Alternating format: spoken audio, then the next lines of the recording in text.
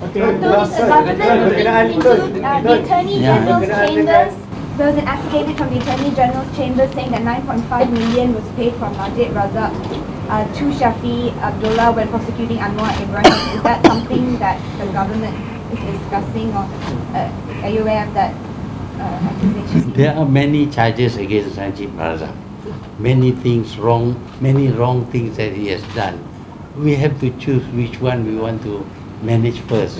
Already there are two charges uh, framed against him, but there are many others. Uh, I, I'm quite sure in time we will, but investigations take a long time.